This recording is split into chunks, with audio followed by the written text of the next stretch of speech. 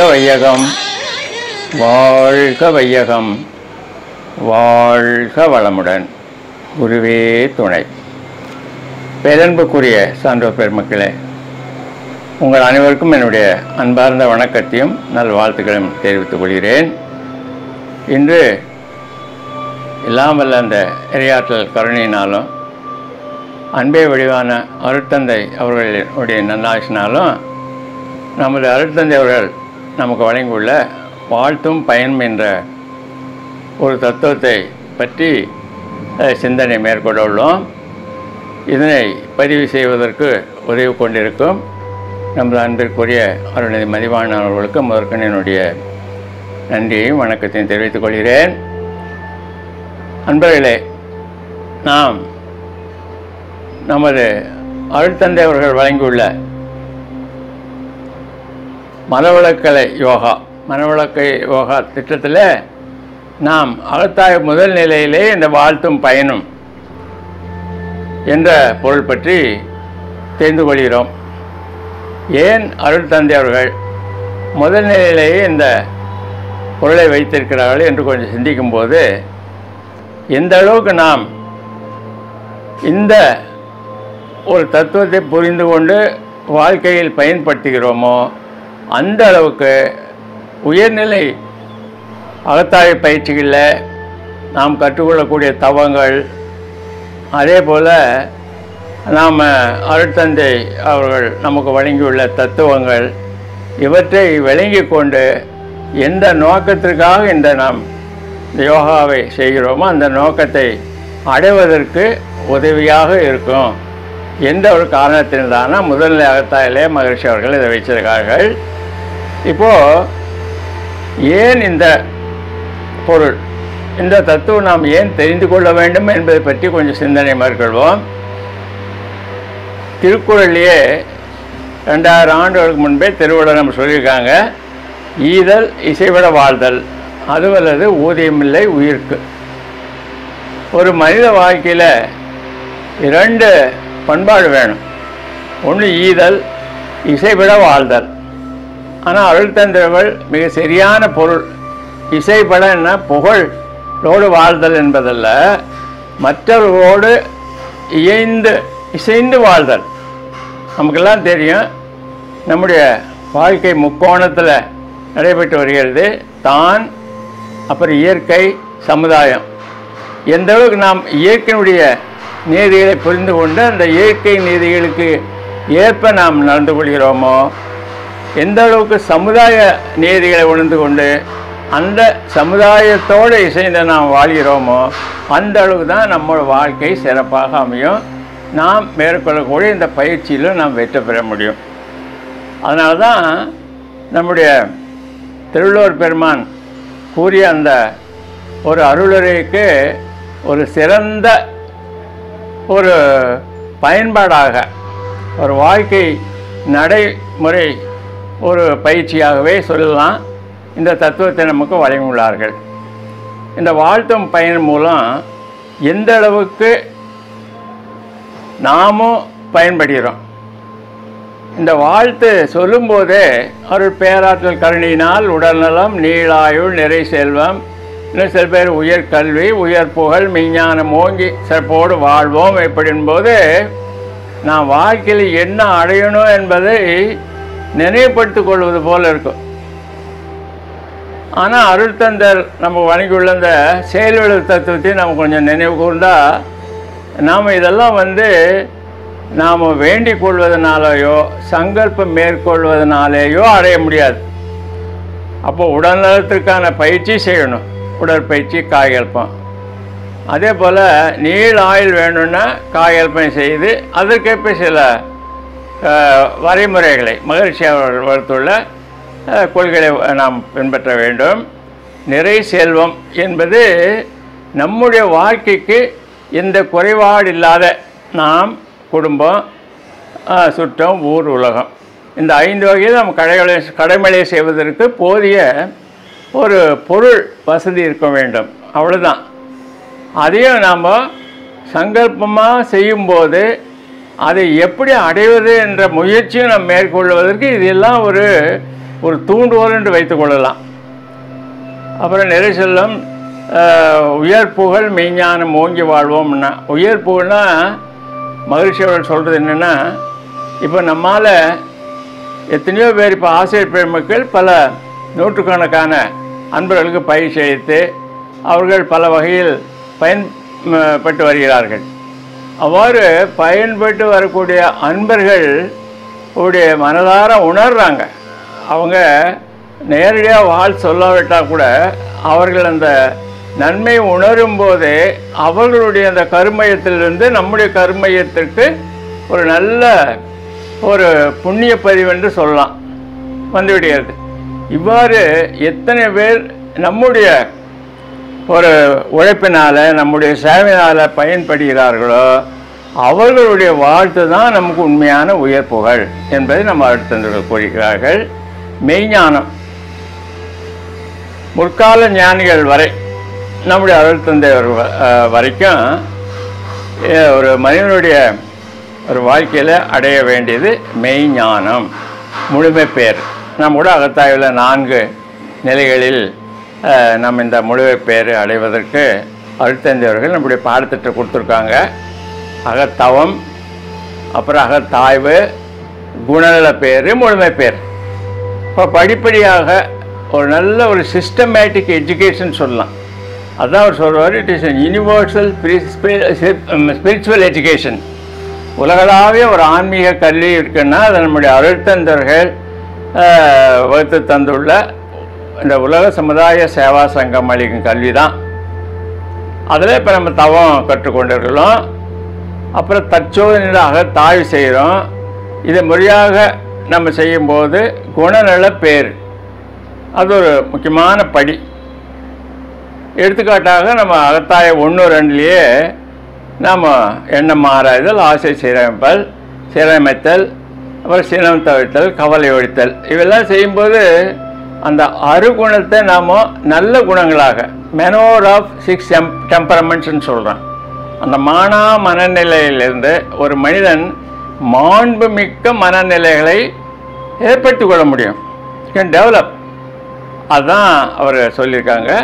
இப்படி நம்முடைய குணநலன்களை மேம்படுத்தி கொள்வது ரொம்ப ரொம்ப இந்த பயிற்சியில் நம்ம அடைய வேண்டிய ஒரு தனி சிறப்பு. அவ்வாறு அடைந்த பிறகு தான் நாம் அந்த முழு பேரை அடைய முடியும். இதுதான் வள்ளுவர்கள் சொல்கிறாங்க நீங்கள் ரெண்டு செய்யணும் வாழ்க்கையில் இசைந்து வாழணும். ரெண்டாவது ஈகை செய்யணும். இதையே திருமூலர் ஒரு மிகச்சிறந்த ஞானி உலக புகழ்வாய்ந்த ஞானின்னு சொல்லலாம். அவர் சொல்கிறாங்க இப்போ திளைக்கும் கடல் தீர்வு தோணி இழப்பினை நீக்க இருவழி உண்டு. கிளைக்கும் தனக்கும் அக்கேடில் முதல்வன் விளைக்கும் அறம் த தவம் மேத்து தவம் அறம் மேத்துணையாமே ஆக எல்லா ஞானிகளும் சொன்னது ஆனாலும் நம்ம அருட்தந்தர்கள் தனிப்பட்ட முறையில் ஆராய்ச்சி செய்து தானே உணர்ந்து தான் நமக்கு தத்துவத்தை கொடுத்துருக்காங்க என்பதை நாம் நினைவு கொள்ள வேண்டும்.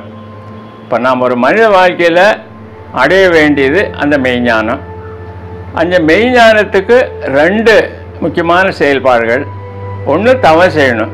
இப்போ துரியாத தவத்தில் நம்ம இந்த இறைநிலையோட நம்ம மனதை இணைத்து இந்த பேரின்பத்தை அனுபவிக்கிறோம் ஆனால் வெறும் தவத்தினால் மட்டும் நம்ம அடைய முடியாது. அற வாழ்க்கை வாழணும். இப்போ நம்ம புராணங்களிலும் இன்னும் நம்முடைய மனித வரலாற்றிலே பார்த்தா எத்தனை பேர் தவத்தில் சிறந்தவர்களாக இருக்காங்க. ஆனால் குணநல பேர் இல்லை. அதனால் அவங்க நிச்சயமாக அந்த முழு பேர் அடையிறதுக்கு வாய்ப்பே இல்லை. சினம் வந்துடும் எத்தனையோ ஞானங்களை பற்றி நம்ம கேட்போம் சினம் வந்து விடுகிறது. இப்போ சினம் வந்தாலும் அந்த குணநிலை பேர் இல்லை. குணமென்னும் குண்டேறி நின்றார் வெகுளி கணமேனும் காத்தல் அறிது திருவள்ளுவர் சொல்லியிருக்காங்க. அது அந்த அளவுக்கு குணநில பேர் உள்ளவங்க ஒரு மனதில் சிறிது நேரம் கூட ச- சினம் தங்காது. இதுதான் நமக்கு ம- நம்முடைய அழுத்தந்தர்கள் சினம் தவிர்த்தல முக்கியமாக நம்ம சொல்லி கொடுத்துருக்குறாங்க. ஆக அந்த நாம் அறநெறி வாழ்க்கைன்னு வரும்போது ஒழுக்கம். நம் தமக்கும் பிறருக்கும் தற்காலத்திற்கோ பிற்காலத்திற்கோ உடலுக்கோ மனதிற்கோ துன்பம் விளைவிக்காமல் இருக்கக்கூடியது தான் புண்ணியம். இது ஒழுக்கம். அதே போல் ஈகை என்பது நம்ம சாதாரணமாக இது வரைக்கும் படிச்சிருக்கோம்னா ரெண்டு ஒழுக்க பண்பாடு கூட பிறர் துன்பத்தை போக்குவதற்கு நம்மால் என்ற உதவி செய்வது நம்ம சொல்கிறோம் ஆனால் அருள்தந்தர்கள் இன்னொன்று சொல்லியிருக்காங்க அதை நம்ம கொஞ்சம் நினைவு கொள்வோம். அதாவது துன்பம் வருவதற்கு முன்பே வருமுன் காத்தல். Prevention is better than cure இப்போ நம்ம பயிற்சி எல்லாமே அப்படி தான் இருக்குது. இப்போ நாம் ஒரு பதினைந்து வயதிலிருந்தே மாணவர்கள் பயிற்சி எடுத்துக்கொள்கிறார்கள். இப்போ அந்த மாணவர்களுக்கு கருவமைப்பு பதிவு தான் இருக்குது. அவங்க வாழ்க்கையில் பெற்ற பதிவு ரொம்ப குறைவு. இந்த கருவமைப்பு பதிவு காரணமாக ஒரு முப்பது வயதிலையோ நாற்பது வயதிலையோ அந்த வினையினுடைய வினைப்பதினுடைய ஒரு வெளிப்பாடு மகிழ்ச்சி சொல்லுவாங்க உடலிலே நோய் உள்ளத்திலே கலங்கும். அப்போ அது வெளிப்படுவதற்கு முன்பே அந்த முளையிலே கழுவது போல்.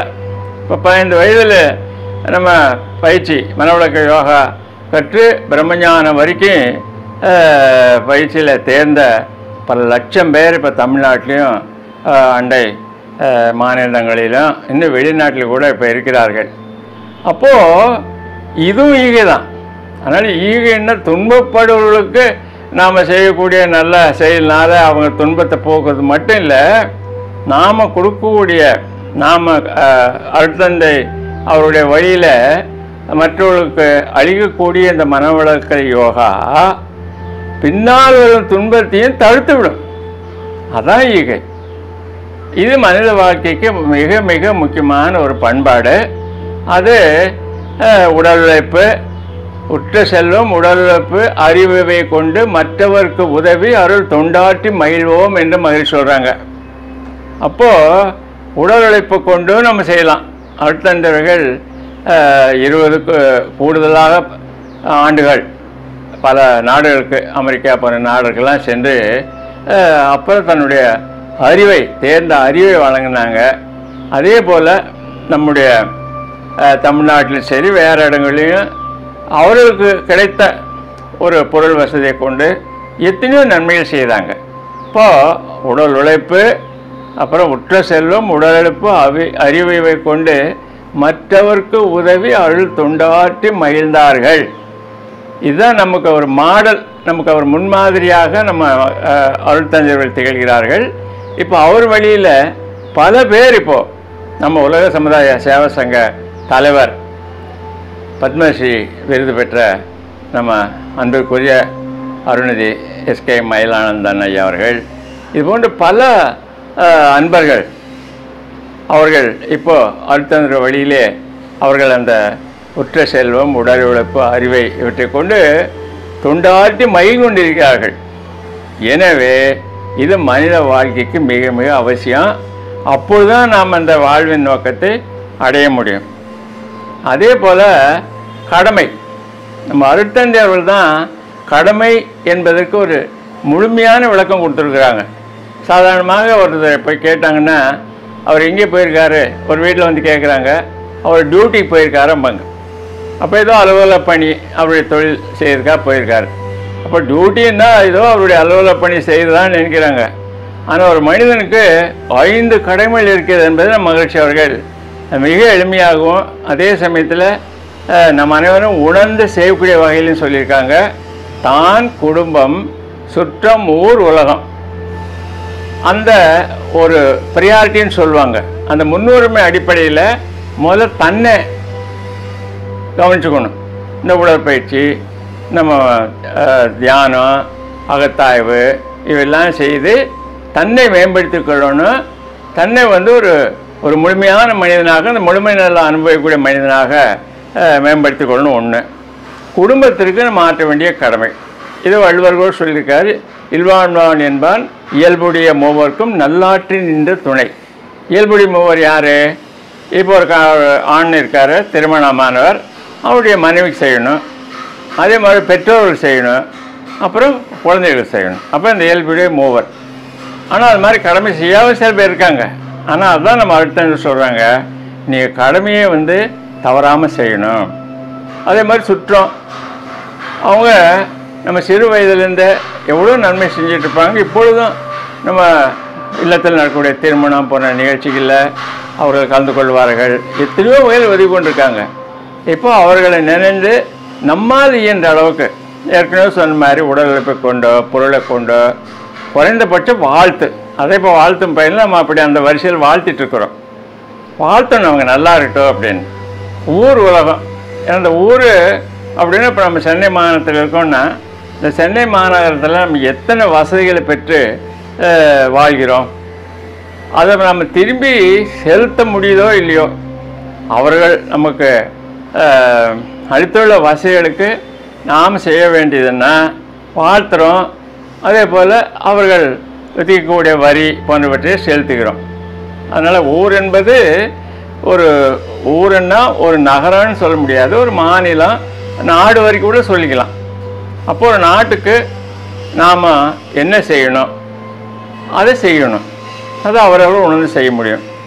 அதே போல் உலகம் மனம் விரிந்து நம்ம கடமை போகணுன்றாங்க மகிழ்ச்சி அவர்கள் சில நூலில் எழுதியிருப்பாங்க. எத்தனையோ பேர் அவங்க அளவுக்கு சுகம் அனுபவிக்கணும் என்ஜாய் பொருள் புகழ் செல்வாக்கு புலன்பம். இதுலேயே தான் அவங்களுடைய மனம் செலுத்துகிறாங்க அப்புறம் அவங்க குடும்ப நலம் அதிகபட்சம் ஒரு ஒரு சுற்றுவட்டம் வச்சுக்கிறாங்க. அவங்க சுற்றம். இது போல் ஒரு சிறு வட்டத்திலேயே தான் வாழ்நாள் போல் கழிச்சிட்ருக்காங்க ஆனால் அவங்க வாழ்க்கை வந்து கடைசியில் பயனில்லாமல் போகுது. அப்படின்னு சொல்லியிருக்காங்க. அது நம்ம கண் கூட நம்ம எல்லாரும் பார்க்க முடியும். அதான் மகேஷ் உலகம் உலகம். ஏன்னா உலக அளவுக்கு நம்ம விரிய வேண்டியிருக்குது. ஏன்னா உலகத்தில் பார்த்திங்கன்னா நம்ம தொடக்கம் முதல் நம்ம மனித வரலாற்றை எடுத்துக்கிட்டால் எத்தனை விஞ்ஞானிகள் கண்டுபிடிப்பை நாம் பயன்படுத்திட்டுருக்குறோம் அதனால் நம்ம நாடு மட்டும் இல்லாமல் உலக அளவில் எத்தனையோ பேருடைய சேவை நாம் பயன்பட்டு இருக்கிறதுனால உலகம் முழுவதும் நல்லா இருக்கட்டும் உலக மக்கள் எல்லாருமே நல்லா இருக்கணும் என்ற ஒரு மனநிலை வேணும். ஆக நம்முடைய திருவள்ளுவர் சொன்ன அந்த ஒரு குரலுக்கு மகிழ்ச்சி அவர்கள் நடைமுறையில் இவ்வளவு கொடுத்துருக்குறாங்க. இது எல்லாம் செய்யறதுக்கு வாழ்த்தும் பயன் எப்படி பயன்படுதுன்றதை இப்போ நம்ம சிந்தனை மேற்கொள்ள இருக்கிறோம். அதற்கு முன்பு இந்த வாழ்த்தும் பயனில் ஒரு விஞ்ஞானம் இருக்கிறது. ஏன்னா அருட்தந்தவர்கள் இந்த யோகாவை யோகா ஃபார் மாடர்ன் ஏஜ் என்று ஒரு த- ஆங்கிலத்தில் எழுதியிருக்காங்க. இன்றைய காலகட்டத்தில் விஞ்ஞானம் வளர்ந்து விட்டு காலகட்டத்தில் நம்ம மாணவர்களுக்கும் இளைஞர்களுக்கும் இன்னும் விஞ்ஞானிகளுக்கு இப்போ கல்லூரி பேராசிரியர்களுக்கு இப்படியெல்லாம் நாம் பயிற்சி அளிக்கிறோம். அவர்களுக்கு விஞ்ஞான விளக்கம் தேவையாக இருக்குது இப்போ வாழ்த்தும் பயணம் what are the benefits of blessings அப்படின்னு அவங்களுக்கு சொல்லும்போது எப்படி நாம் ஒருத்தர் வாழ்த்துறோம் அது பிறருக்கு நன்மை விளைவிக்குது என்பதற்கான ஒரு விஞ்ஞான விளக்கம் தேவை. அதுக்கு தான் உலகிலேயே முதன் முதலாக இதுகாரும் அவருடைய அருள்தந்தருடைய காலத்துக்கு முன்னால் எந்த ஒரு விஞ்ஞானியோ எந்த ஒரு மெய்ஞானியோ விளக்காத காந்த தத்துவம். அது நம்ம அருள்தந்தர்கள் சரியாக சொல்லுவாங்க. இதை வந்து விஞ்ஞானத்தையும் மெய்ஞானத்தையும் இணைக்க இணைக்கக்கூடிய ஒரு பாலம் போன்ற ஒரு காந்த தத்துவமே ஒரு அவருடைய பாடல் எழுதியிருக்கிறாங்க. அது முழுக்க முழுக்க உண்மை. அது எல்லா துறைக்கும் நம்ம அப்ளை பண்ணலாம். இப்போ நாம் இந்த வாழ்த்து பயனுக்கு வரலாங்க. இப்போ நம்ம காந்த தத்துவம் மட்டும் இல்லைங்க. காந்த தத்துவத்தினுடைய அப்ளிகேஷன் அது பயன்பாடு வந்து எத்தனையோ வகையில் பயன்பட்டாலும் எனக்கு தெரிஞ்ச வரைக்கும் ரெண்டு தத்துவங்கள் மிக மிக இன்றியமையாது நம்ம வாழ்க்கைக்கு மிக அவசியம். ஒன்று செயல்விளைவு தத்துவம். ரெண்டாவது வாழ்த்தும் பயணம். இப்போ இந்த வாழ்த்தும் பயனில் காந்த தத்துவம் இருக்கிறது செயலுள்ள தத்துவம் இருக்கிறது. அதனை நம்ம முதல்ல ஒரு மனிதர் கொஞ்சம் வைத்துக்கொண்டு இப்போ நாம் அந்த வாழ்த்தும் பயனை எப்படி வாழ்த்துவதால் எப்படி நாம் பயன்பெறுகிறோம் மற்றவர்கள் எப்படி பயனடைகிறார்கள் என்பதை பற்றி நம்ம சிந்திப்போம். ஒரு எடுத்துக்காட்டாக நாம் ஒருவரை வாழ்த்துறோம் அவர் குடும்ப உறுப்பினர்களாக இருக்கலாம் உறவினராக இருக்கலாம் இல்லை பயிற்சிக்கு வர அன்பர்கள் கேட்டுக்கொள்வாங்க. எங்கள் வீட்டில் ஒரு பையன் சரியா இன்னும் நல்ல ஒரு படிப்பில் நாட்டம் இல்லாமல் இருக்கான். அவன் நல்லா படிக்கணும்.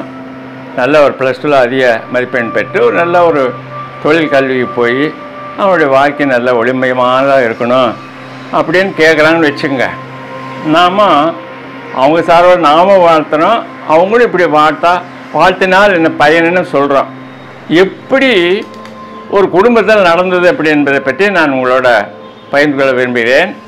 ஒரு பயிற்சியாளர் அப்படி கேட்டாங்க. அப்போ அவர் சொல்கிறாரு நான் காலையில் நேரத்திலே வீட்டை விட்டு கிளம்பிடுவேன். அப்பொழுது அந்த அவனுடைய மகன் அவர் எதிர்பார்த்த அளவுக்கு கல்வியிலே நாட்டம் இல்லை. அதிக மேல் மதிப்பெண் பெறல. ஒரு எட்டு அல்லது ஒன்பது வகுப்பு வரை. அப்புறம் நாம் சொன்னோம் நீங்கள் இப்போ அகத்தெல்லாம் முடிச்சிருக்கிறீங்க கண்ணாடி பயிற்சியில் முடிச்சிருக்கீங்க.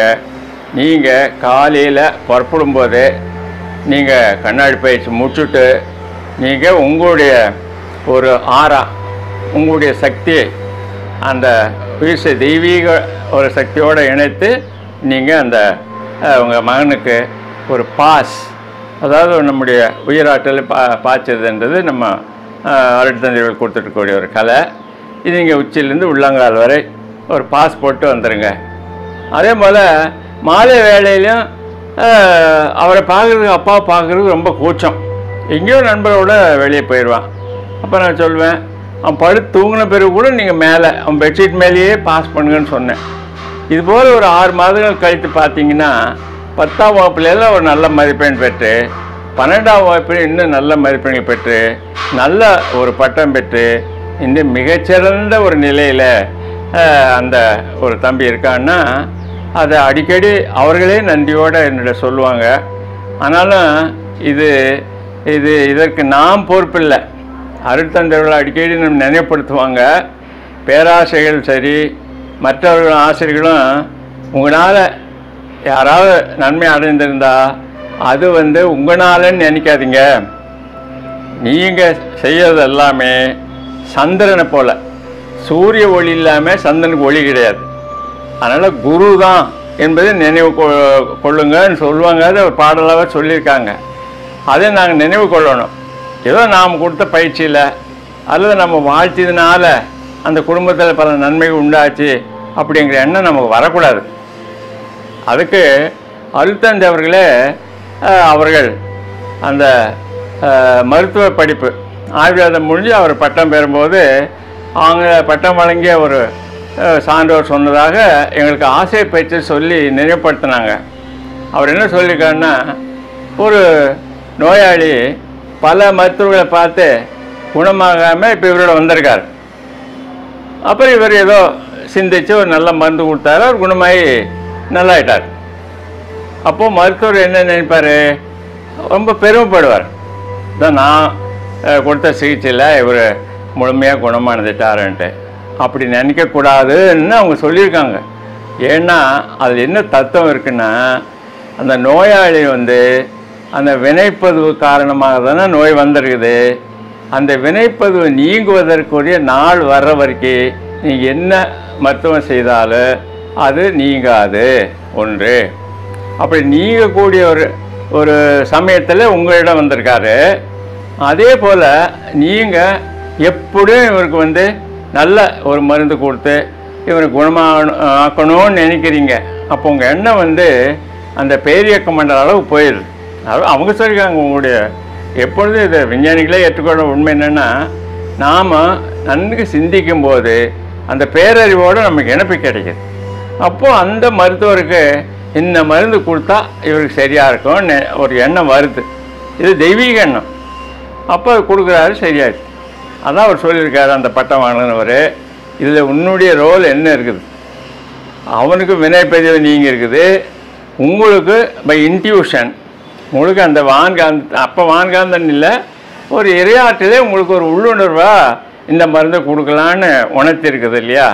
அதனால் நீங்கள் வந்து பெருமைப்படுறது அது சரியில்லை என்று எங்களுக்கு ஆசை பயிற்சி முடிஞ்சு அருட்தந்தைகள் சுமார் முப்பது ஆண்டுகளுக்கு முன் சொன்னது இப்போ எனக்கு நினைவு வருது. இது ஒவ்வொரு ஆசையும் நம்ம நினைவு கொள்வோம். இப்போது இந்த காந்த தத்துவம் எப்படி இந்த வாழ்த்தும் பயனில் நம்ம பயன்படுதுன்னு பார்க்கும்போது அந்த அலையக்க தத்துவத்தை பற்றி நம்ம எல்லாரும் தெரிஞ்சு வச்சிருக்கிறோம். ஏன்னா மனம் என்பது ஜீவகாந்த அலை தான் இதுக்கு விளக்கம் தேவையில்லை. அந்த ஜீவகாந்த அலைக்கு நான் ஐந்து இயக்கங்கள் உண்டு மோதுதல் பிரதிபலித்தல் அப்புறம் சிதறுதல் அப்புறம் ஊடுருவுதல் பெனிட்ரேஷன் இரண்டுக்கும் இடையே ஓடிக்கொண்டிருத்தல். இப்போ நாம் ஒரு அம்பரை வாழ்த்துறோம். அப்போது வாழ்த்தும் போது நம்ம மனநிலை எப்படி இருக்கணும் அதையும் நம்ம கொஞ்சம் சிந்திக்கணும். நாம் வாழ்த்தும் போது குறைந்தபட்சம் துரியத்தில் இருக்கணும். சாதாரணமாக ஒரு தவம் முடிஞ்சு தான் நம்ம கூட்டுத்தவத்தில் வாழ்த்துறோம். தனிப்பட்ட முறையில் வாழ்த்தும் போது கூட அந்த துரிய நிலைக்கு தவம் செய்கிறோமோ இல்லையோ வந்துவிட முடியும். ஒரு அமைதியான நிலையில் அந்த உடல் உணர்விலிருந்து மனதை அமைதி கொண்டு வந்து அந்த துரியம் நிலைக்கு அதாவது ஆல்ஃபான்னு சொல்லுவோம் பதினாலுலேருந்து நாற்பது வரை உடல் உணர்வில் அந்த ஃப்ரீக்குவென்சி என்ற மனச்சூழல் வேகம் இருக்கும். அந்த வேகத்தை குறைத்து பதிமூணுலேருந்து எட்டு வரை குறைத்து நாம் அந்த துரியத்தில் மன அமைதி பெறுகிறோம். இன்னும் சொல்கிறாங்க விஞ்ஞானிகளும் சரி அருட்தந்திரிகளும் சொல்கிறாங்க ஏழு கூட போகும். இப்போ சாதாரண நாலுலேருந்து ஏழுன்னா நாம் அந்த சக்திகளை தவத்தலம் அடைகிறோம்னு சொல்கிறோம் அதே போல் அது பே பேரியக்க மண்டலம்னு சொல்கிறோம் அதுபோல் துரியத்திலே ஆழ்ந்து துரிய நிலை மனசை துரிய நிலை மனம் வைக்கும்போது ஒருத்தருக்கு அந்த பேரியக்க மண்டலம் கூட பேரறிவோடு நமக்கு இணைப்பு கிடைக்கிறது. அப்போது ஒருத்தர் அந்த துரிய நிலை நின்று ஆழ்ந்த நிலையிலே ஒருத்தரை வாழ்த்தும் போது இவருடைய அந்த வாழ்த்து அங்கே பேரறிவோடு இணையுது. இப்போ இவர் சிற்றறிவு பேரறிவோடு இணையிறதுனால தட் வில் டேக் ஓவர் நம்முடைய அருட்டம் எப்படி சொல்கிறாங்க நீங்கள் எப்போ பேரறிவு அந்த தெய்வத்திட்ட கொண்டு போய் சேர்த்துட்டீங்களோ அந்த தெய்வம் ஒரு மனிதருக்கு குணமாகணும் ஒரு பையனுக்கு ஒரு நல்ல பொண்ணு கிடைக்கணும் அப்புறம் கணவன் மனைவியாக இப்போ புது மன ஒரு இனிமையான வாழ்க்கை வாழணும். இப்படி பல நன்மைகளை நன்மைகளை எதிர்நோக்கி தான் மக்கள் வாழ சொல்கிறாங்க அவங்களும் வாழ்த்துறாங்க. அப்போது அந்த வான்காந்தம் மகிழ் சொல்லியிருக்காங்க அந்த பேரறிவுன்னு சொல்லலாம். அந்த பேரறிவு இந்த நாம் சொல்லக்கூடிய வாழ்த்தெல்லாம் பதிவு செய்து கொண்டு உரிய நபர் மூலம் உரிய சூழ்நிலை மூலம் அந்த வாழ்த்தப்பட்டவருக்கு நன்மை அளிக்கும். இதை நீங்கள்லாம் நம்பணும். இது அழுத்தந்தர்கள் வாழ்க்கையில் பல நிகழ்ச்சியை கொண்டு அவர் அவர்கள் நூலிலே எழுதியிருக்கிறாங்க. நீங்கள் மனவளக்கலை யோகா தொகுப்பு ஒன்றில் கூட இந்த வாழ்த்தும் பயனும் என்ற தலைப்பில் பல ஒரு நிகழ்ச்சிகளை அவர்களே எழுதியிருக்காங்க. ஒரு காலத்தில் அவர் அன்பொழியில் எழுதியிருந்தாங்க. ஆக இதை ஒவ்வொருத்தர் வாழ்க்கையும் நம்ம அனுபவிச்சு வரோம் இந்த ஒரு தத்துவத்தை நம்ம தெரிந்து கொள்ளணும். இதே வந்து நம்முடைய மகிழ்ச்சி அவர்கள் புதுடெல்லியில் ஒரு விஞ்ஞான மெய்ஞான கருத்தரங்கு நடத்திய போது ஐஐடி டெல்லியில் நாம் அவரோட இருந்த ஒரு வாரம்.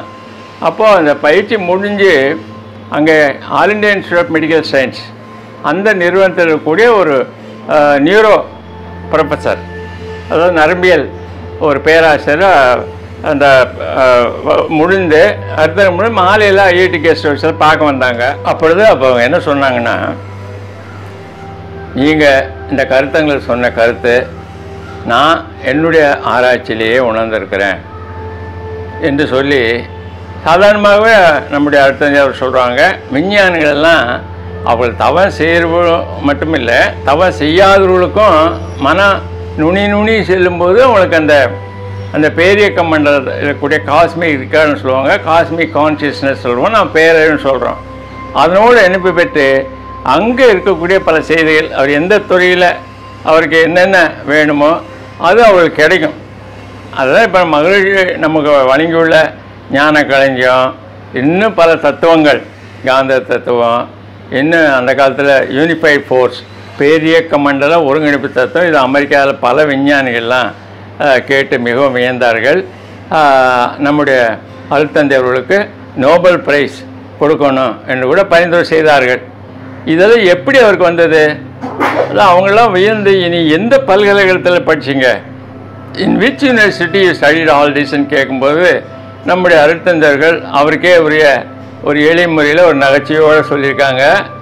I studied every thing in the city of universe அந்த பேரியக்கம் மண்டல் என்ற பல்கலைக்கழகத்தில் தான் எனக்கு இந்த செய்தியெல்லாம் கிடைச்சது அப்படின்னு சொல்லியிருக்காங்க.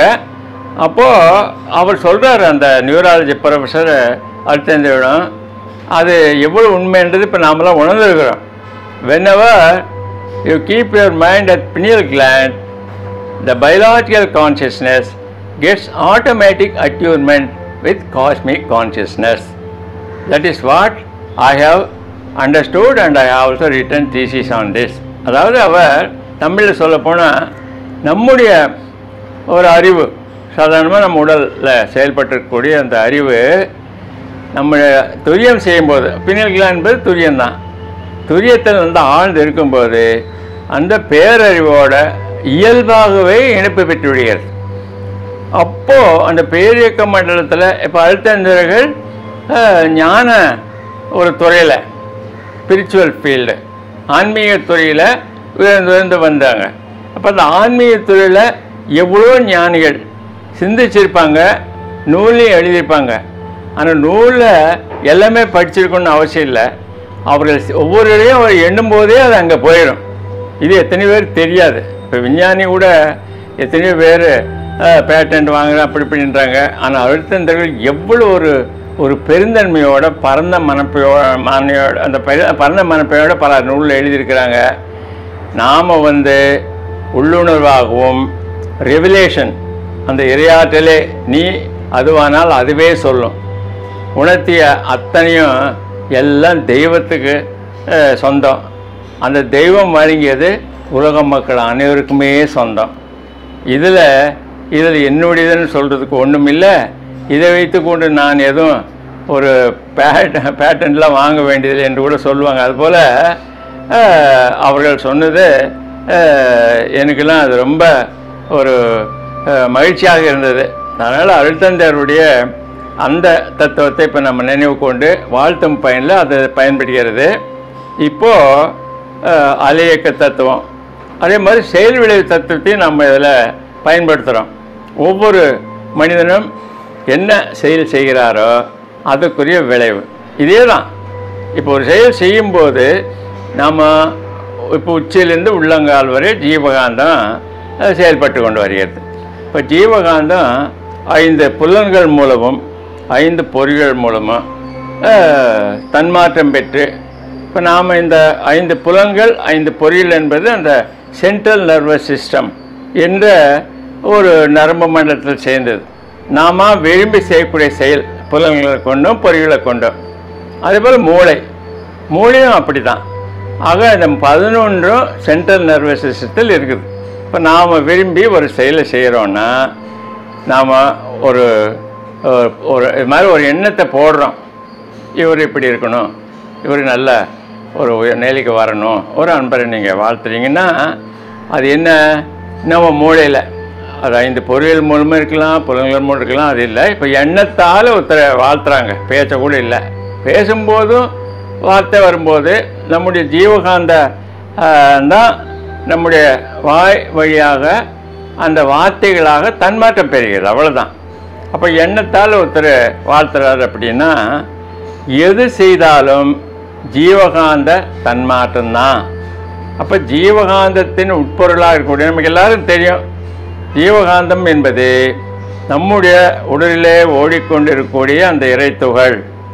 அல்லது அதே தான் உயிர்த்துகளாக உயிர்த்துகளும் அதை சுற்றி நிரம்பி உள்ள உடல் முழுவதும் நிரம்பி வெளியும் நிரம்பியுள்ள அந்த மெய்ப்பொருளாகிய சுத்த வெளி அப்போ சுத்த வெளியும் அதன் அலையாகிய அந்த அஹ், உயிர்த்துகளும் இணைந்து தான் ஜீவகாந்தம் உண்டாகுது. அப்போது ஒரு தன்மாற்றம் பெறும்போது அந்த ஜீவகாந்தத்தின் உட்பொருளாகிய அந்த தெய்வம். அது பல பாடல ஞான களஞ்சியத்தில் நீங்கள் படித்து தெரிஞ்சு கொள்ளலாம். அந்த தெய்வமே தான் அறிவாக வெளியே வருது. அதான் சொல்கிறாங்க மனம் என்பது வேற ஒன்றும் இல்லை. நம்முடைய ஜீவகாந்தத்தினுடைய ஒரு அங்கம். நம்ம சுத்தவெளின்னு சொல்கிறோம் சுத்தவெளி தெய்வம்தான் அந்த தெய்வத்தினுடைய நான்கு தன்மையில் ஒன்று தான் அறிவு. அந்த அறிவு தான் ஐந்து புலல்கள் மூலமோ ஐந்து பொறிகள் மூலமோ அல்லது எண்ணமாகவோ அந்த ஜீவகாந்தம் வெளியேறும்போது அதை உணர்ந்து இன்பமாகவோ துன்பமாகவோ நமக்கு ஒரு உணர்வை கொடுக்குது. அத்தனையும் நம்முடைய கருமையத்தில் பயந்து விடுகின்றன. அதுதான் முக்கியம். இது இன்னும் விஞ்ஞானிகள் உணராதது. வெறும் மூளை உள்ள பதிவை பற்றி சொல்ல மனன்னு சொல்கிறாங்க நமக்கெல்லாம் தெரியும். அதனால தான் நம்ம ஆக்கிய தீட்சை எடுக்கும்போதோ கூட அப்புறம் கருமையத்தில் நம்முடைய மூலாதாரத்தில் தொட்டு தான் இந்த குண்டலியை எழுப்புகிறாங்க அங்கே தான் கருமையில் தான் உயிர் மையம் நம்முடைய மனதுக்கு அதான் மையம்னா அது ஜீவகாந்தத்தினுடைய அலை. அதே போல் ஜீவகாந்த மையம் உயிர் மையம் வித்து இருக்கிறதுனால உடலுக்குள்ள மையம். உடல் உயிர் மனம் மூன்றுக்கும் ஒரு மையம் இருக்கிறதுனால கருமையம் தான் அப்போ நம்ம கருமையத்திலிருந்து ஒரு எண்ணெய் எழுந்து இன்னொருத்தரை வாழ்த்தும் போது இந்த ஐந்து அலையக்க தத்துவத்தின் மூலமாக பிறருடைய கருமையத்தை இணைந்து அந்த அந்த ஒரு மனிதருக்கு யார் என்னன்னு தெரியலன்னா கூட உடல் முழுவதும் ஏன்னா கருமையத்தில் வந்து ஸ்டோர் ஆகுதுன்னு சொன்னோம். கருமையத்தில் போய் சேரும்போது உடல் முழுவதும் இந்த ஜீவகாந்தத்தில் ஒரு பூரிப்பு உண்டாகும். இது போல் ஏதோ காரணத்தினால அதனால தான் நம்ம கட்சியில் நம்ம நமக்கு கருத்து வேறுபாடு கருத்து வேறுபாடு கொண்டு போய் வாழ்த்தோம். எதுக்குன்னா பல முறை வாழ்த்தும் போது அந்த ஜீவகாந்தத்தில் ஒரு குறிப்பிட்ட மனிதரை பற்றி அவர் எண்ணியிருந்த அந்த வேறுபாடெல்லாம் போய் ஒரு டிரான்ஸ்ஃபர்மேஷன்ற முறையில் மாற்றாயிடும். இதுதான் விஞ்ஞானம். இப்போது யார் யார் எதுக்காக வாழ்த்துறோம் என்று நம்ம சிந்திப்போம். நம்ம ஏற்கனவே சொன்னோம். முதல்ல நம்ம வாழ்த்திக்கிறோம். ஏன்னா நாம் நல்லா இருந்தால் தான் மற்ற கடமையெல்லாம் செய்ய முடியும். முதல்ல நாம் அந்த முழும நிலம் காத்தா தான் நாம் இந்த வாழ்வின் நோக்கத்தை அடைய முடியும் ஒன்று இரண்டாவது நம்ம ஏற்கனவே சொன்ன மாதிரி அறநெறி வாழ்க்கை வாழணும். இந்த ஒழுக்கம் கடமை ஈகை. அப்போ நம்ம கடமை செய்யணும் ஈகை செய்யணும். இதெல்லாம் செஞ்சால் தான் உண்மையாக முழு பேர் அடைய முடியும். எத்தனை பேர் தவத்திலே நம்ம உயர்ந்துடலாம்னு நினைக்கிறாங்களோ அந்த காலம். அது தெரியாமல் அறியாமைனால. இப்போது வாழ்த்தில் நீங்கள் என்னென்ன முதல்ல தன்னை வாழ்த்திட்டு மிகவும் நெருக்கமானவங்க இப்போ திருமணமானவர்களுக்கு மனைவி. இப்போ மனைவி வாழ்த்துறோம். சில பேர் சொல்கிறாங்க என்ன மனைவி இல்லை அதாவது இன்னும் திருமணம் ஆகலைன்னா அம்மாவை வாழ்த்துறங்கன்னாங்க. அது தேவையில்லை. அடுத்த பிள்ளை சொல்லியிருக்காங்க என் மனைவி இல்லை வாழ்க வம்புடன் அவ்வளோதான் மனைவி வரகால மனைவி ஒரு நல்ல மனைவி அமையணும்னு அது வேணும்னு நினச்சி நீங்கள் வாழ்த்தலாம்.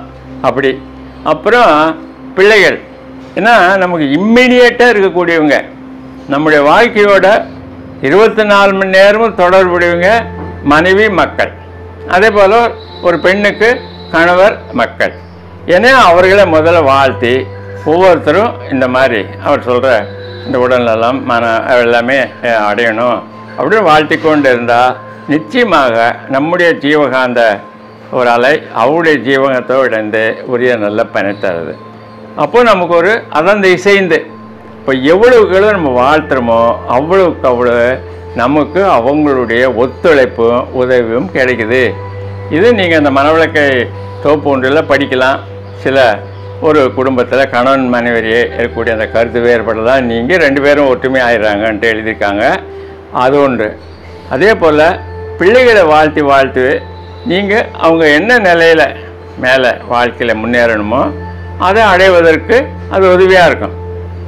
அதனால் பிள்ளைகளுடைய ஒரு வாழ்க்கை சிறப்பாக இருந்ததுதான் நாம் மகிழ்ச்சியாகவும் மனநிறைவோடு இருக்க முடியும். அடுத்தது வந்து உடன் பிறந்தார் வாழ்த்தவும் சொல்கிறாங்க உடன் பிறந்தார் என்பவங்க நமக்கு சுட்டி காட்டுறது என்னென்னா இப்போ என்னோட ரெண்டு வயது இளைய தம்பியோ அது தங்கி இருந்தாங்கன்னா இந்த ரெண்டு வயது தான் ஒரு வேறுபாடு. அது வரைக்கும் தாய் தந்தருடைய வினைப்பு ரெண்டு பேர்கிட்டையும் இருக்கு இல்லையா?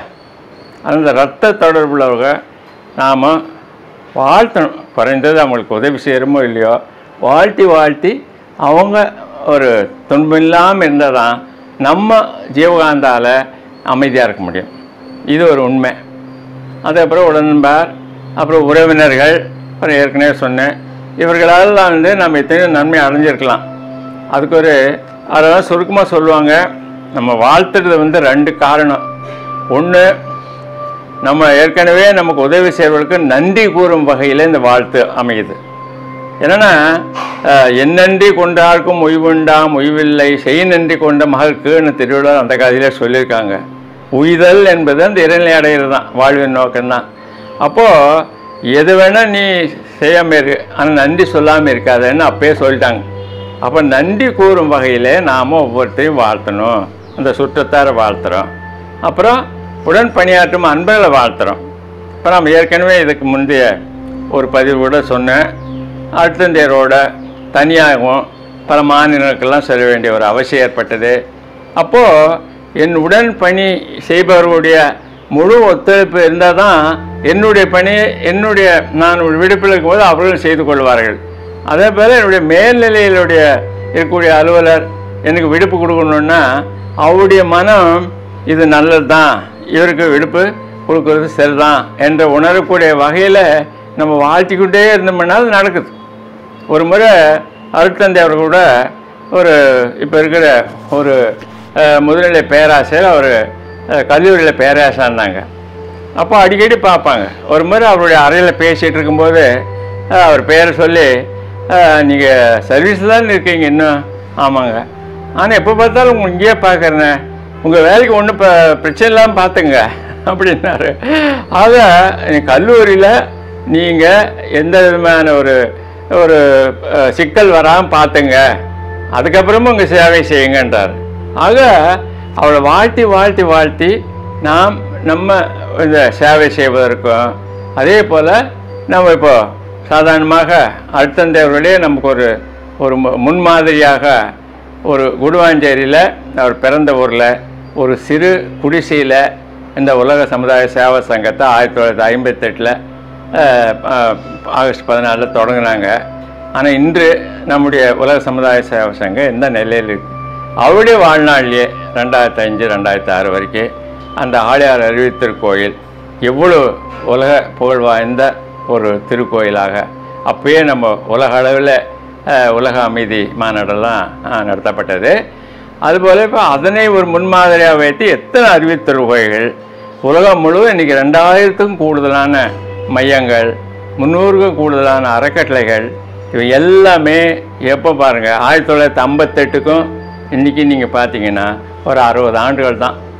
அப்போ எந்த அளவுக்கு ஐயாவுடைய வாழ்த்து அவருடைய வாழ்நாள்லையும் பயன்பட்டது வாழ்நாளுக்கு அப்புறமா இன்னைக்கு திருவான்மியூர் தலைமன்றத்தில் வேதாந்திரி மகர்ஷி காலேஜ் ஆஃப் யோகா அது சிறப்பாக இப்போ தொடங்கப்பட்டு சிறப்பாக நடைபெற்று வருகிறது.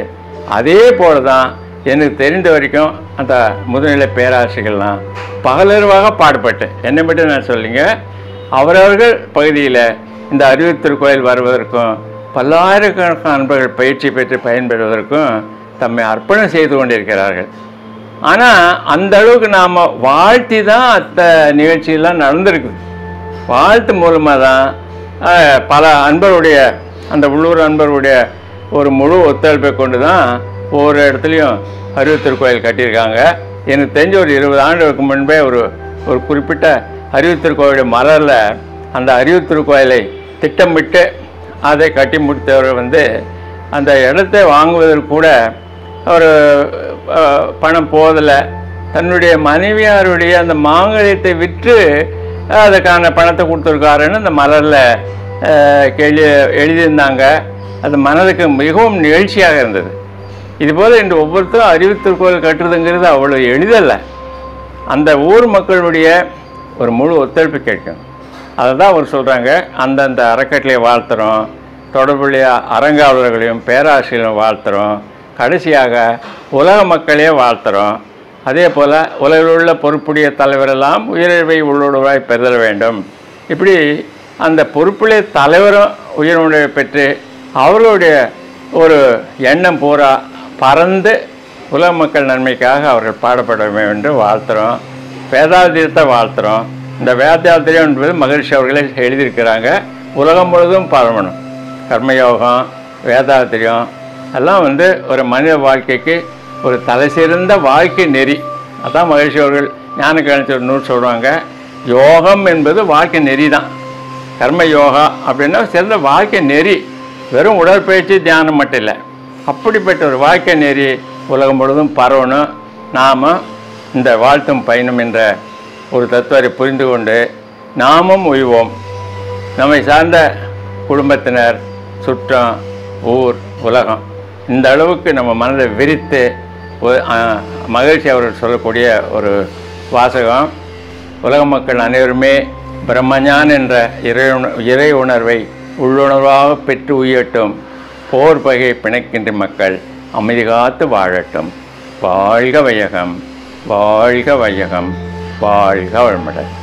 இந்த ஒரு உரையை செவிமடித்த உங்கள் அனைவருக்கும் என்னுடைய நன்றியையும் வணக்கத்தையும் தெரிவித்து இந்த உரையை நிறைவு செய்கிறேன். அனைவருக்கும் நன்றி. வணக்கம். வாழ்க வளமுடன் வாழ்க வளமுடன் வாழ்க வளமுடன்.